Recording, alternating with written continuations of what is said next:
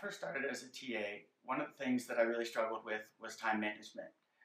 Um, it was really easy for me to spend at least two to three hours each night working on my PowerPoint presentation, trying to find the perfect image that would go with each activity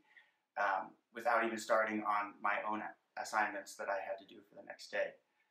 While it is important that you make a PowerPoint that will guide you from the beginning to the end of your class, uh, what's more important, I think, is the lesson itself. As long as you make a solid lesson that incorporates the five skills and map out beforehand how long you think each activity should take, being a TA can be a lot more fun and engaging as opposed to uh, a nerve-wracking experience.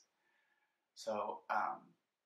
really the bottom line, as long as you are well prepared and relaxed in the classroom, your students are going to respond positively to that and, and get a lot more out of your teaching.